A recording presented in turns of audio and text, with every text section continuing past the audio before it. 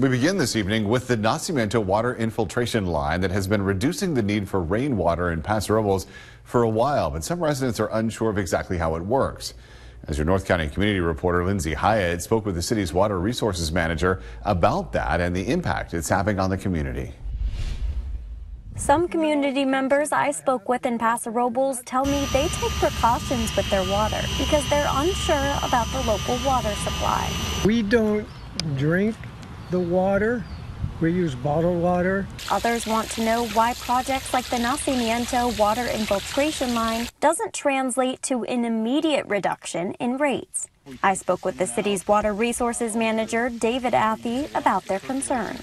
We've been infiltrating water into the Salinas River for about over five years now. What this does is this keeps those well fields operating at full capacity uh, in the summer months, when the when the water level in the Salinas River drops uh, naturally, just because we we're not getting any more rain. Athey explained this infiltration line is one third the cost of alternative water sources and cheapens Paso Robles residents' water rates over time. Our rates were last adopted in 2022, so we considered this uh, recharge in our rates so that the rates wouldn't actually be higher by relying on more expensive sources of groundwater. He also explained that projects like the infiltration line allow the wells to continue operating efficiently so residents can depend on their water.